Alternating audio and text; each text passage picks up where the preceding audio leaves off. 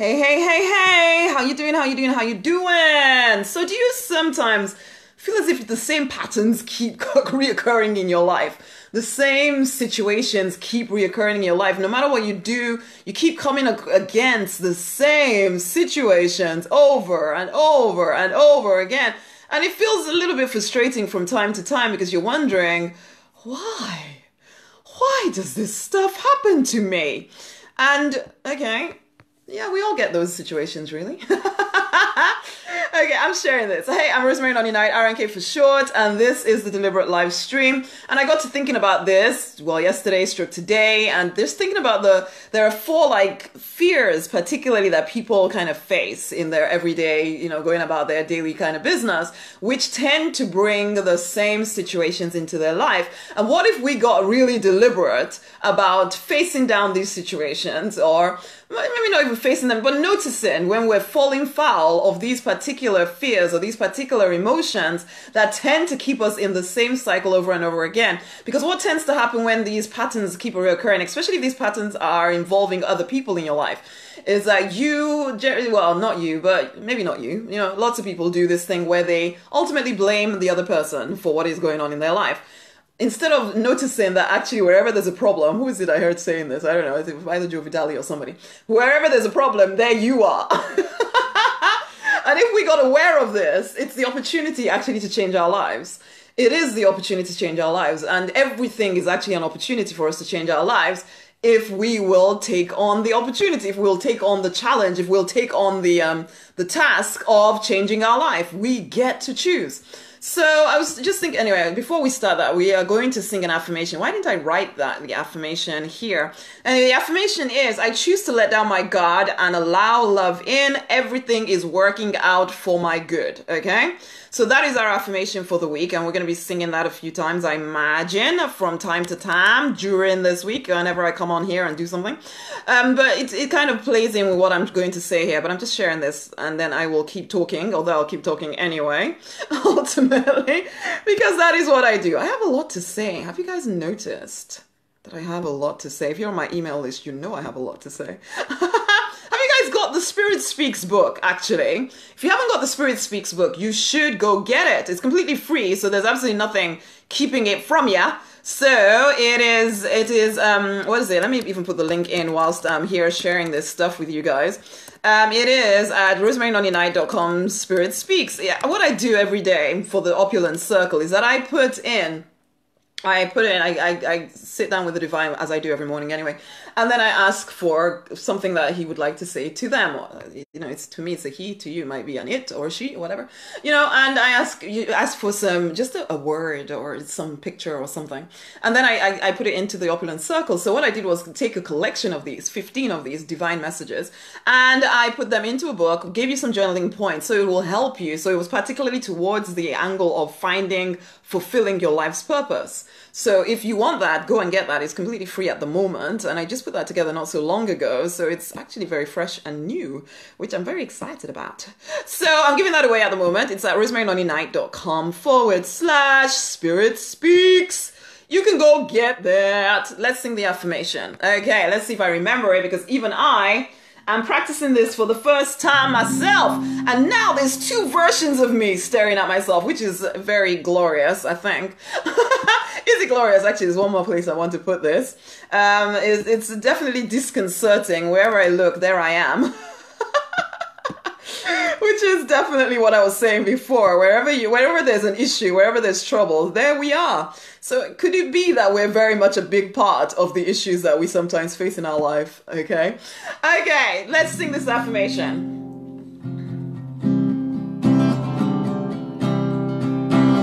I choose to let down my guard and allow love in. I choose to let down my guard and allow love in.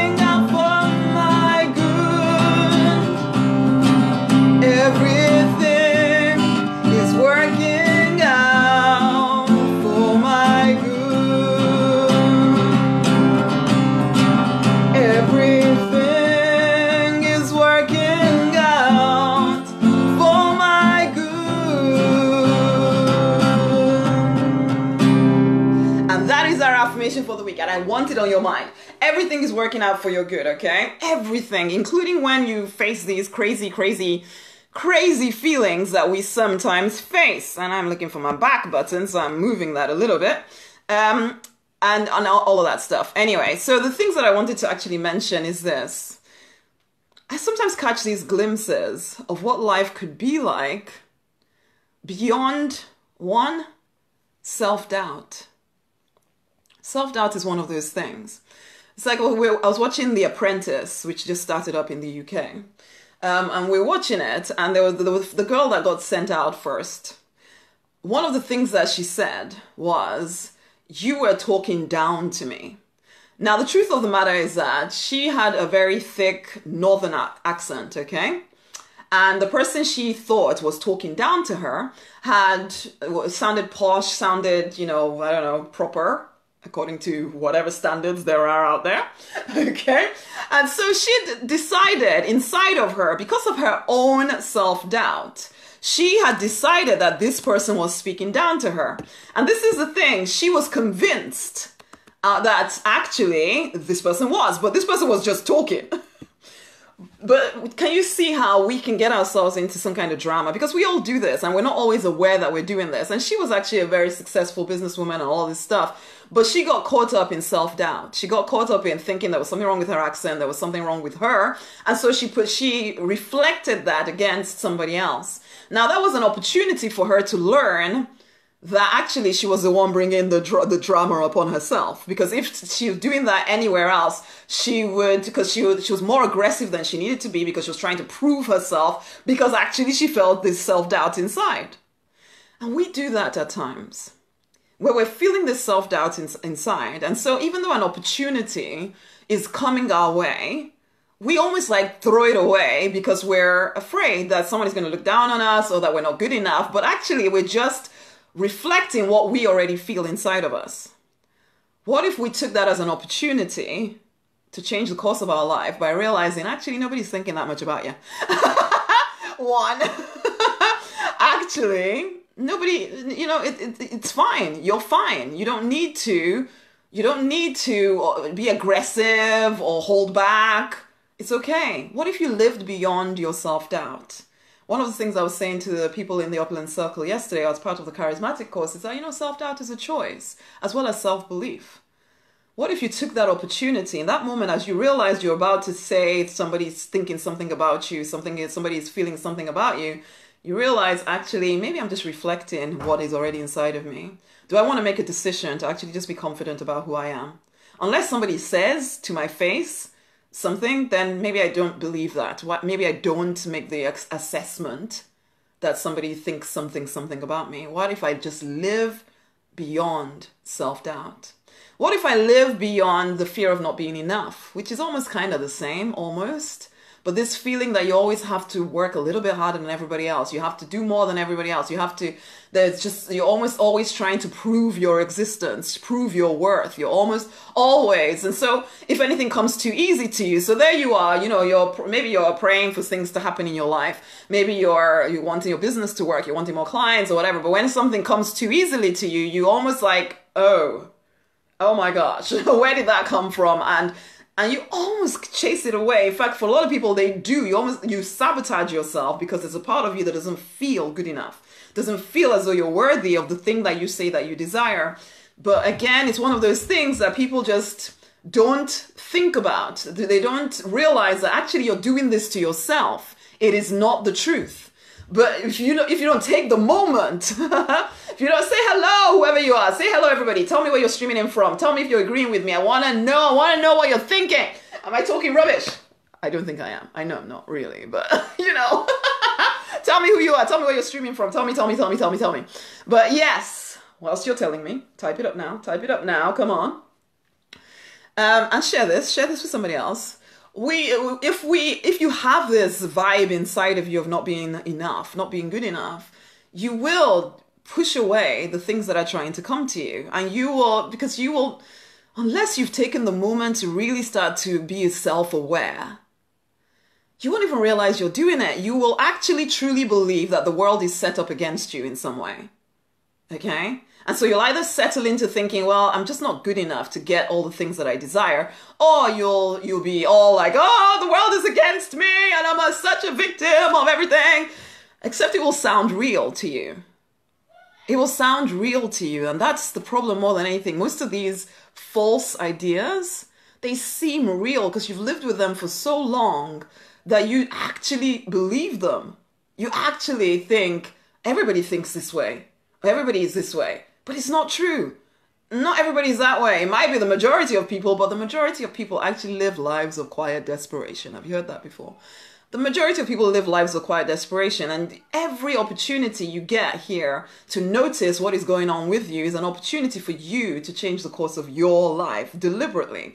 I'm very much about, you know, deliberately designing life because I know I lived very passively for an exceedingly long time. What if you took on the idea that everything is always working out for you?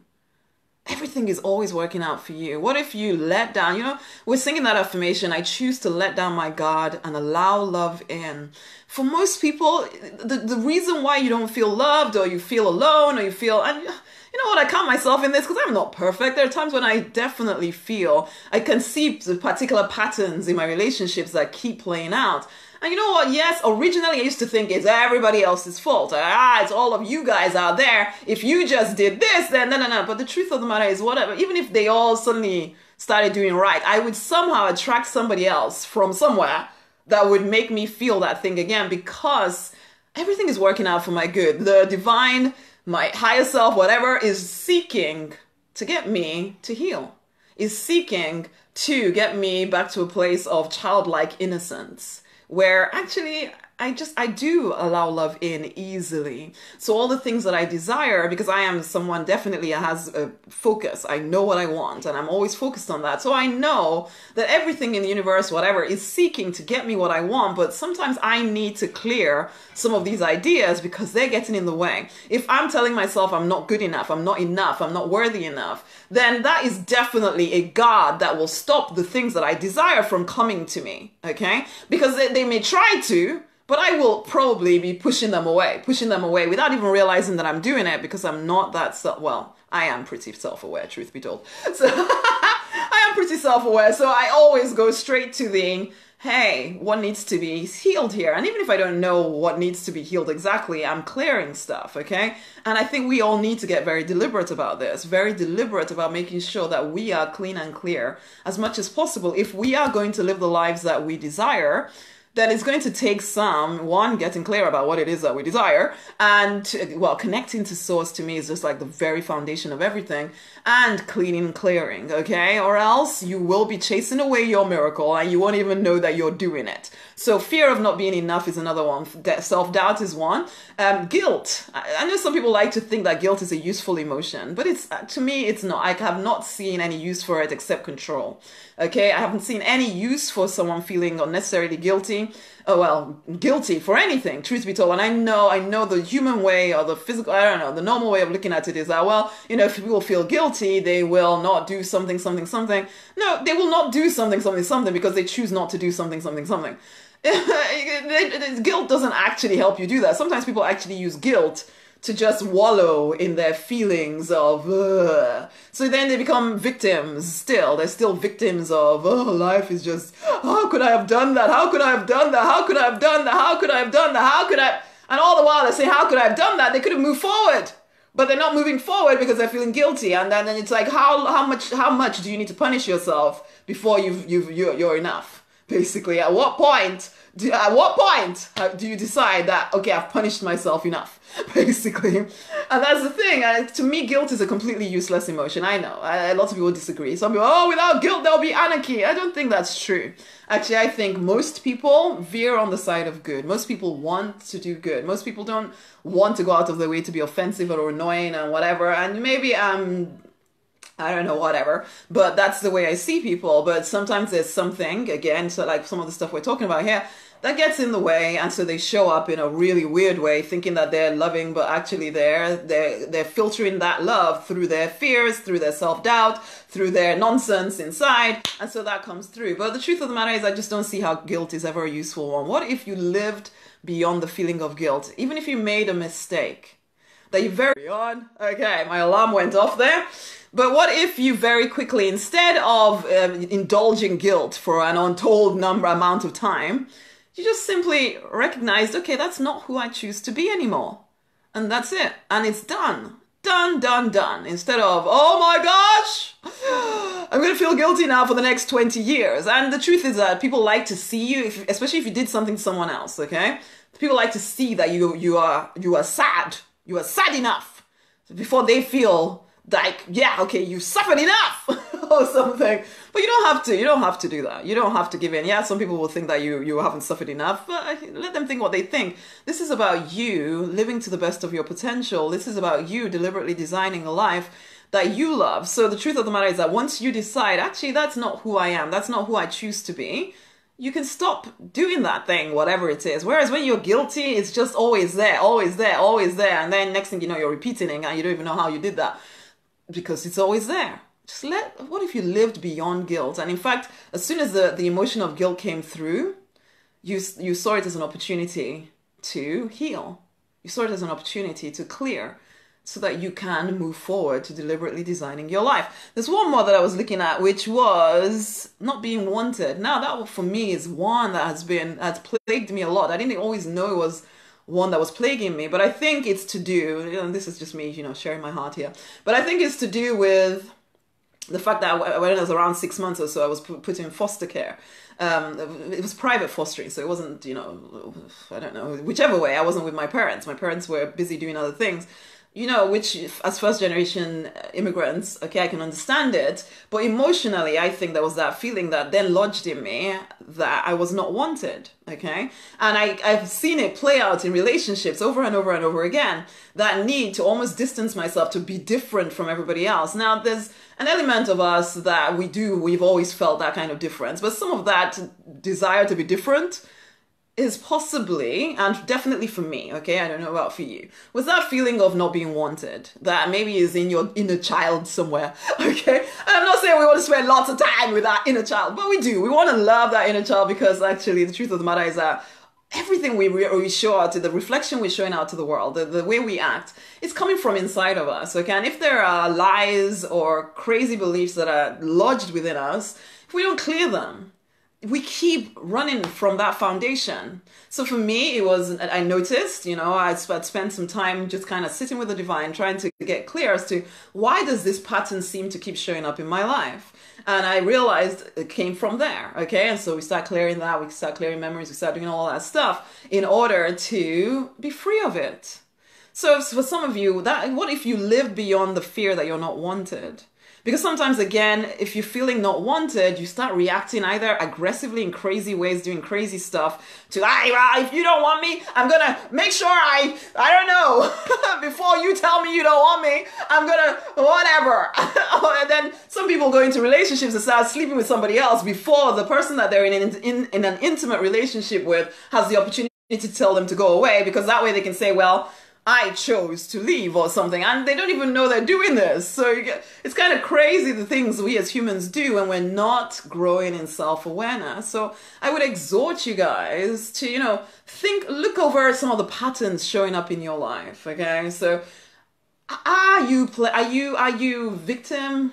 Yeah, victim in some ways, or are you subject to some of these ideas where you're not feeling wanted? And so you're playing it out in your life and you keep playing it out in your life or you you feel self doubt, or you feel um, not you're not enough, or you feel guilt. Those four emotions. I want you to pay attention to the way you're showing up in your life. Uh, do you think that any of these are at the root of it? Do you think any of these are at the root of it? Because if they are, then maybe you want to heal that, right? Maybe you want to heal that. Maybe you don't want to keep living from a place of, you know, of of this because it may not be helping you. it may not be getting you what you want and you know, you you deserve every good thing. And you are a divine being. You could have every good thing if you would just start to let down your guard, start to actually do the healing work and start, you know, start to live beyond these crazy emotions that at the moment may control you. But you want to start being aware, pay attention. Is this controlling me? Because I want to live a prosperous life. And if this is getting in my way, I want to get it out of the way. Okay? So that is what I ask you to do today. um, pay attention. Pay attention to the way you're behaving. Pay attention to the, the situations that keep playing out in your life. Pay attention. You, we can't change anything, anyone out there, but we can change ourselves. We can pay attention to what is going on with us. And sometimes the way, when we change the way we look at things, the things we look at change. Okay? So here we are talking about the deliberate life. Let's very deliberately start to pay attention to those patterns. What are those emotions that we need to handle? Okay? Now, I would like to, as I said, go and get The Spirit Speaks if you don't have a copy of that. And the other option as well is if you're listening to this kind of stuff that I talk about here, and you are aware that that something is playing out in your life and you're not always sure what then you might want to join me in the Opulent Circle, okay? Because that is where I'm building a community where we are together, together, we are going forward. We're deliberately designing our life. Hello, Ngozi. How you doing, my honey? Lovely to have you here. So it's like uh, where we're, yeah, so it's the Opulent Circle. It is an ongoing thing, you know, because I do believe in immersion. I do believe that when you've been immersed in a crazy way of looking at life, you need to be immersed in a different way of looking at life in order for you to get different results. I know everybody wants some kind of, oh my gosh, I click a button and everything works. Well, you've probably tried all of that and has it worked? If it hasn't worked and you're ready to actually try things that do work, which is immersion in a different way of thinking, of being, of acting, then you want to join me in the Opulent Circle, or you just want to get some of my standalone programs and just immerse yourself in a new way of thinking, a new way of being, a new way. Because once you start changing the way you think, the way you be, well, when you change the way you think, you start changing the way you act which will then have an impact on how, how you see yourself and all of that stuff, which will mean that you start getting different results out in the world, okay? But it all starts inside of us. What is going on inside of us? What is going on inside of us? Most people are trying to start with the end. What am I doing? What do I need to do? What do I need to do? Start inside. Okay, I'm not saying we don't do stuff. Okay, I'm very practical. I'm a practical spiritual person. We, I'm very practical. There's always something to do. Personally, I think you know what you can. You can always find. You can ask the divine. There's always something you can do to move up to the next step, physically. But if you're not doing the internal stuff as well, if you're not paying attention to what's going on inside of you, and you know what, for a long time I didn't do that. I was, you know, I was brought up in Nigeria. For goodness sake, you don't think about such things. I don't know if things have changed now, but but I, I definitely remember coming to this country first and practically laughing at everybody that started telling me about any kind of anything like this stuff I'm talking about here. I would be laughing at them, thinking, "You, I'm sorry," but I was, I think I was slightly racist as well. I remember coach calling me out on that, and I say, "White man disease." So. I'm sorry, but I did. and now it's like, oh my gosh, oh my gosh, oh my gosh. I suddenly realized ah, there was more to it than met the eye. And it was as I started to pay attention to what was going on inside of me that I moved from being passive to being a deliberate designer of my life. And I invite you to the deliberate path, okay? Rather than just just trying to find the next strategy. How many times will you do that before you realize that that's not going to work alone, okay? It works, but not alone. Not alone. You will hit a ceiling and if unless you're willing to stay at that ceiling, you will have to do the inner work, okay? So I would suggest that you do the inner work whilst doing the physical work, okay? Do both together. And that's how I work with clients anyway, you know, especially clients who are building businesses. It's like, let's do both together because if we can do both together, you will move forward. But usually, either you're too spiritual and you don't want to do any external work, or you're too external and you don't want to do any inner work. I like, no, combine the both. Anyway, enough of my yabbering on. Let's, do I remember it? I'm not even going to try to sing the affirmation yet. I need to remember it myself. You're listening at the beginning, okay? I choose to let down my guard and allow love in. Everything is working out for my good. I want you to remember that everything is working out for your good. Whatever situation is presenting itself in your life, it isn't to break you. It is actually to build you up. It is to build you up. So choose to see what is it showing you. So if necessary, you can clear it and move forward. It is the opportunity to change the course of your life, okay? So if you're going to come and join me in the Opulence Circle, actually, I should put the link here for you. It's at rosemarynonnyknight.com forward slash opulence circle. Every week we're doing programs in there. This week we are doing active surrender because I, I know spiritual people sometimes talk about surrender, but they, but they usually do it from a very passive place. And we know we're going deeper than that. We're going deeper than that. So you can come and get that, or you can get it when we do it as a standalone program, which will be more expensive for you. But hey, it's up to you. So. come along. It's um, rosemarynonnyknight.com forward slash opulence circle, or you can get the free ebook, which I put together for you all y'all, which is at rosemarynonnyknight.com forward slash spirit speaks. Now, I would love you to share this with somebody else. Much, much, much amazing love. Let down that guard so that you can allow the love, the prosperity, the everything that you desire, which is all yours, okay? You can allow it in. Okay, until the next time, my honeys much amazing love. Go forth and prosper. Bye.